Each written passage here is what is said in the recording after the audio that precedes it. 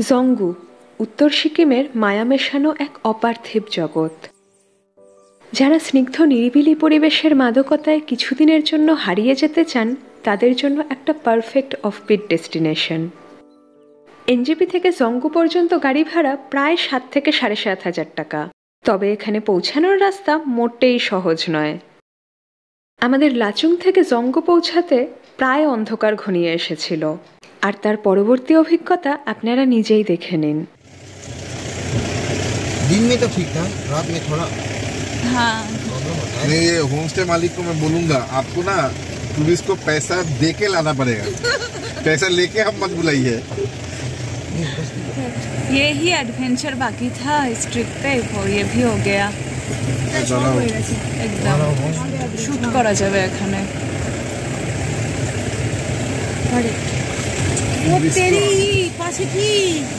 ওরে সালা মারাত্মক মুভিটা কালকে দিনের বেলা কালকে দিনের এখন বাজে সন্ধে সাতটা এখনও আমরা হোমস্টেতে পৌঁছাতে পারিনি। রাস্তা এত বাজে এত বাজে। পুরো অফ রোডিং হচ্ছে রাস্তা নেই। নেই। মানে ওটা কিসের ওপর দিয়ে আমরা চলছি আমরাও জানি না। ভয়ও লাগছে। স্টিল আমাদের ড্রাইভার দাদা ভালো। খুব এক্সপার্টলি হ্যান্ডেল করছেন পুরো ব্যাপারটা। দেখা যাক কখন পৌঁছাই। আপনারা যদি আপনারা যদি জঙ্গু প্ল্যান করেন যদি এই রাস্তা সহ্য করার ক্ষমতা থাকে তাহলেই প্ল্যান করবেন। আমি রাস্তাটা দেখানোর চেষ্টা করেছি বাট ওটা জানি না ভিডিওতে কি এসেছে কোনো আইডিয়া নেই। সো দেখা যাক কখন পৌঁছাই। তো আমরা একটা পিক আপ ভ্যান পেয়েছি তার পেছন পেছন আমরা তাকে ফলো করছি কারণ ও আমরা যেখানে যাব সেখানেই অলমোস্ট যাবে। তিনবং আমরা ঢুকে গেলাম রাইট সাইডে এই তো এখন বাজে রাত আটটা আমরা এসে পৌঁছালাম জাস্ট আমাদের হোমস্টেতে এখন গাড়ি থেকে নেমে একটু হেঁটে যেতে হবে। অন্ধকারে হেঁটে হেঁটে এখন আমরা যাচ্ছি হোমস্টেতে পা পিছলে পড়লেই সর্বনাশ হয়ে যাবে।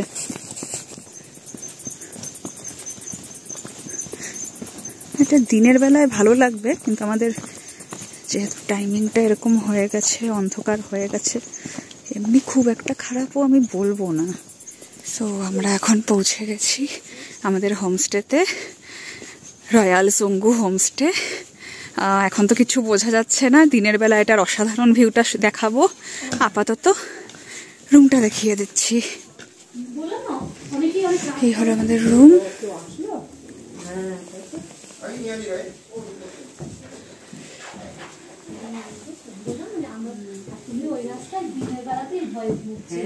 তো এটা আমাদের কমন টয়লেট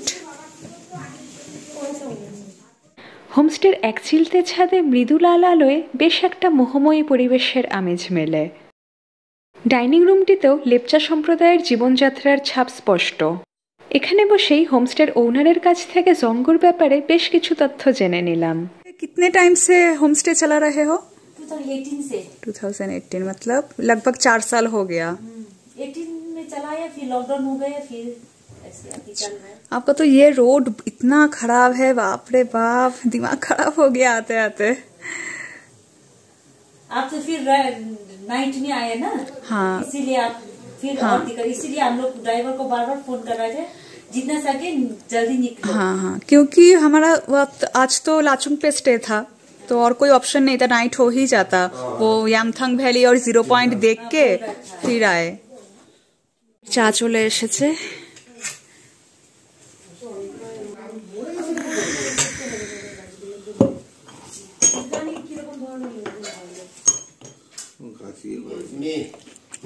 लास्ट टाइम बंद कर देता है गैस को अच्छा। तो भारत त्यो मे से जून से हमारा जून लास्ट से ये बीच है नदी का वो कट ऑफ़ होता है। पूरा बारह होता है वो बीच निकाल देता है। उसके बाद है उधर जाते हैं उधर थोड़ा उधर आगमनतम से थोड़ा उधर एक हैंगिंग बीच है कुछ हाँ, है। वो वहाँ से हम शिफ्ट करते हैं। अच्छा। उसके फिर अक्टूबर लास्ट में ब्रिज लगा देते हैं फिर नदी सूख जाता है ना?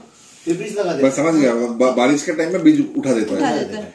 नहीं और गेस्ट को कहाँ से रिसीव करते हैं आप लोग yes, आप लोग उधर उधर Hanging bridge से? हैंगिंग ब्रिज से उधर गाड़ी रखता है। और हमारा- गाड़ी रहता है? हम लोग गाड़ी इधर रखता है। हाँ। तो चांसेस हम लोग बोल के रखते हैं। आप लोग कैसे जाते हैं उधर उधर? उधर उधर ऐसे पहले हम लोग उधर का हमारा जो गाड़ी गाँव है ना। नहीं आपको अगर जाना हो गैंगटॉक वगैरह कहीं जाना हो।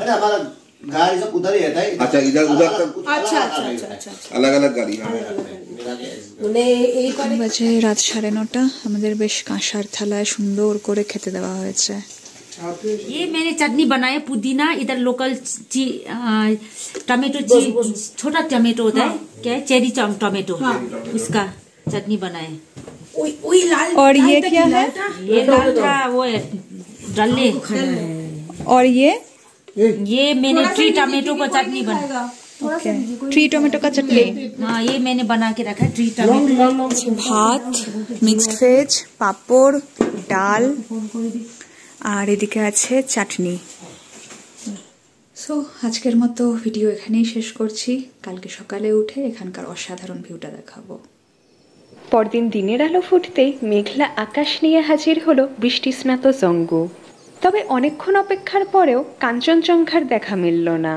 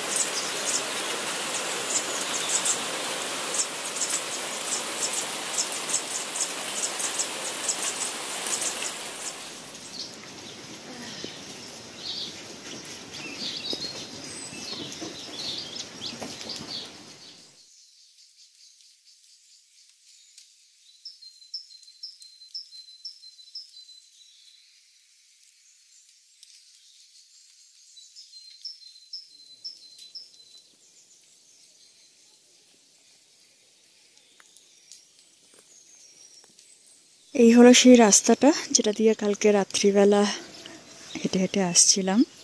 কালকে রাত্রে তো দেখাতে পারিনি, তো এখনই দেখে নাও তোমরা। পুরো সিনিক বিউটিটা এত সুন্দর মানে নিজে চোখে না দেখলে এই ক্যামেরায় ভালো মতো ধরাও পড়ছে না।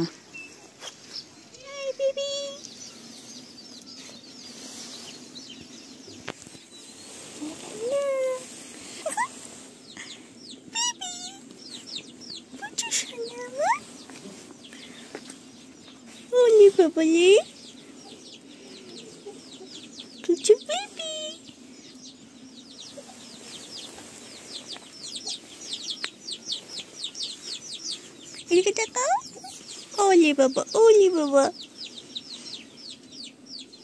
এই পুরো গ্রামে শুধুমাত্র লেপচা সম্প্রদায়ের বাস।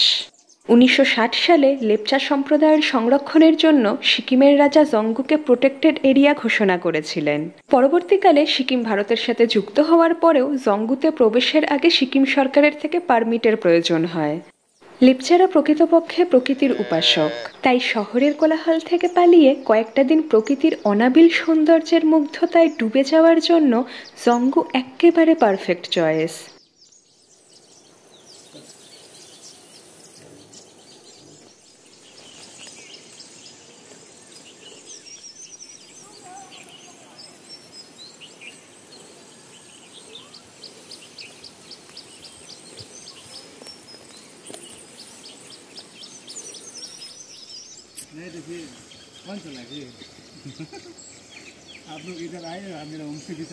good morning travel freaks আজকে আমার ট্রিপের লাস্ট ডে এখন বাজে সকাল আটটা। মোটামুটি দশটা নাগাদ আমরা চেক আউট করব। তো এই হোমস্টের ব্যাপারে বলতে গেলে অনেকটা ভালো আর একটু মন্দ মিশিয়ে ভালোই এক্সপিরিয়েন্স ওভারঅল ভালোগুলো বলার আগে মন্দটা বলে নিই এক নাম্বার তো কালকে রাতেই বলেছি, রাস্তা খারাপ, প্রচণ্ড খারাপ। তো যারা বয়স্ক, তাদের এখানে আসতে একটু প্রবলেম হতে পারে। সেকেন্ড হলো কাল রাত এগারোটা থেকে ইলেকট্রিসিটির এই এখানে। একটু আগে এলো, তো কালকে সারা রাত অন্ধকারে থাকতে হয়েছে। ইলেকট্রিসিটির প্রবলেম রয়েছে। Third and the biggest disadvantage হলো এখানে কমন বাথরুম একটা রুমের সাথে অ্যাটাচড বাথরুম রয়েছে, বাকি রুমগুলোর জন্য কমন বাথরুম তো এটা আই থিঙ্ক এদের ঠিক করা উচিত, কারণ অনেক ট্যুরিস্টের প্রবলেম হতে পারে এটা। আর ভালো বলতে গেলে, অসাধারণ এক্সপিরিয়েন্স এনাদের আতিথেয়তা খুবই ভালো, খুবই মানে খুবই, একদম ফ্যামিলি মেম্বারদের মতো আপ্যায়ন করেছেন। এখানে জিও নেটওয়ার্ক খুব ভালো রয়েছে সো আপনারা যদি ওয়ার্ক ফ্রম মাউন্টেন করতে চান, সেটারও সুযোগ সুবিধা আছে। আর এখানে একটা ফরেস্ট ট্রেল আছে, তো সেটা তো এবার আমরা টাইমের অভাবে যেতে পারছি না। এই গ্রামটার থেকে আরেকটু ওপরে গিয়ে কুসং গ্রাম আছে। সেখানে একটা সুন্দর মনাস্ট্রি আছে। আপনারা যদি এখানে দু তিন দিন টাইম নিয়ে আসেন, তাহলে সেই জায়গাটা অবশ্যই এক্সপ্লোর করুন। এখানে চেরি ব্লসমেরও বেশ কয়েকটা গাছ আছে। সেগুলো যখন পুরো ব্লুমিং হবে, অসাধারণ লাগবে দেখতে।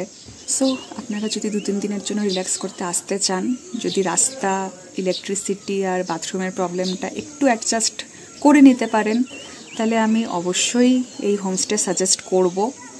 কিন্তু যদি আপনি এখানে এসে লাক্সারি ফেসিলিটি চান, তাহলে এই জায়গা আপনার জন্য না। তো একটু পরে আমরা বেরোবো।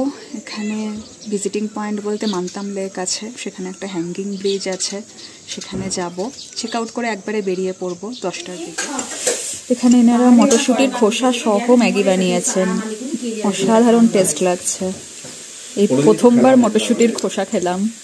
তো আমরা আমাদের ট্রিপের লাস্ট স্টেজে চলে এসেছি। এখন আমরা চেক আউট করছি। এখন বাজে সকাল দশটা। আমরা জাস্ট হোমস্টে থেকে চেক আউট করলাম। আর এই পুরো ট্রিপটা যে সুন্দর দায়িত্ব সহকারে আমাদেরকে এক্সিকিউট করিয়েছে সে হলো আমাদের ড্রাইভার দাদা আমাদের দিওয়াস ভাই। দিওয়াস ভাই আপনার নাম্বার বল দিজিয়ে। Nine six four one two seven double zero four six. নাম্বারটা নোট ডাউন করে নিন। আর দিওয়াস ভাইকে ভালো মতো দেখে নিন। দিবস ভাইয়ের বাড়ি হলো নামচিতে। আপনারা যদি সিকিম প্ল্যান করেন, তাহলে দিবস ভাইয়ের সাথে ডিরেক্ট কন্ট্যাক্ট করতে পারেন। আমি স্ক্রিনে নাম্বারটা আরেকবার দিয়ে দেবো এখানে। ভীষণ ভালো ছেলে, ভীষণ মিশুকে। পুরো জার্নিতে আমাদেরকে একদম বোর ফিল করায়নি, ভীষণ ফ্রেন্ডলি পুরো ট্রিপে আমরা দিবস ভাইয়ের সাথে ভীষণ এনজয় করেছি। এটা হলো মাল্লেরু। এটার স্পেশালিটি হলো এই ফলটা যতটা পাকবে, ততই টক হবে। নাইস কিউট আমাদের অফরোডিং স্টার্ট হয়ে গেছে আরে রাস্তা কি করবে हाँ हाँ हाँ ब्रिज बन रहा है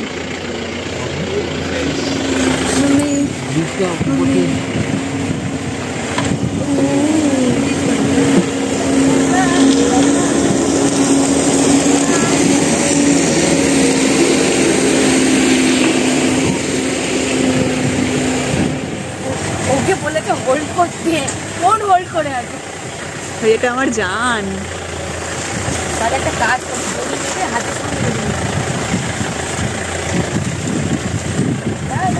আরে বাপরে বাপ।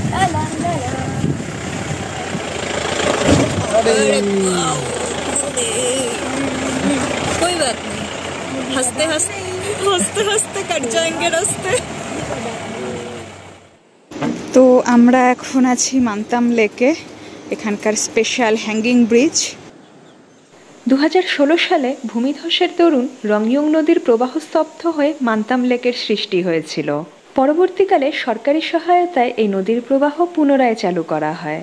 তবে জায়গাটির নাম এখনও মান্তাম লেকই রয়ে গেছে।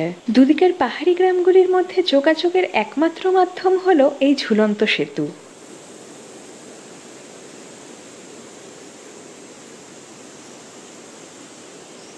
ব্রিজের ওপর কিছুক্ষণ কাটিয়ে নিচে নদীর ধারে গেলাম।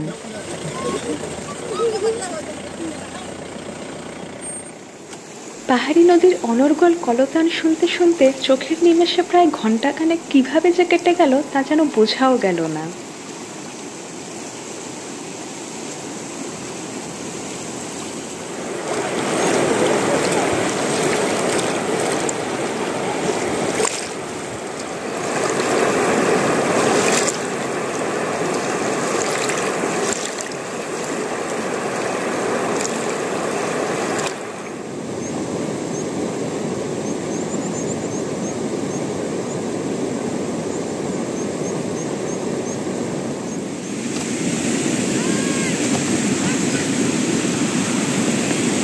তো আমাদের এই সুন্দর ট্রিপ এখানেই শেষ হলো। আশা করি এই ব্লগগুলো আপনাদের ভালো লেগেছে। নেক্সট ব্লগ আপলোড করা অবধি সায়োনারা